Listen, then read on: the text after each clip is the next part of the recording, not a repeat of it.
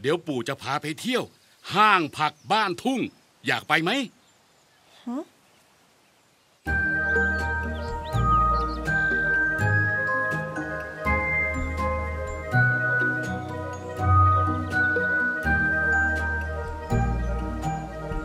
นี่มันซุปเปอร์มาร์เก็ตชัด ๆ เลยนะคะเนี่ย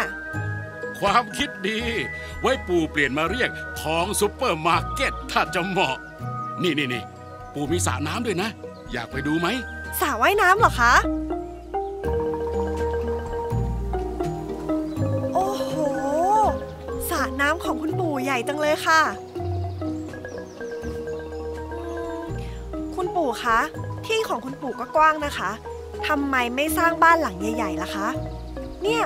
สวนกับสระน้ำของคุณปู่ ใหญ่กว่าบ้านอีกนะคะ ก็ปู่ทำตามหลักเลขชุดมหัศจรรย์นะสิฮะ เลขชุด ก็เพื่อให้ชาวนารู้จักจัดสรรพื้นที่และแหล่งน้ำให้เกิดประโยชน์สูงสุด อย่างของปู่จะแบ่งพื้นที่ทั้งหมดเป็น 4 ส่วนทำสระน้ำไว้เก็บน้ำฝน 30ทำนาไว้ปลูกข้าว 30ทำสวนผสมไว้ปลูกผักผลไม้ 30 ที่เหลืออีก 10 ก็ไว้ปลูกบ้านไง ปู่เก่งจังเลยค่ะ ปู่ไม่ได้เก่งหรอก ปู่ก็แค่ทำตามคำสอนเท่านั้นเอง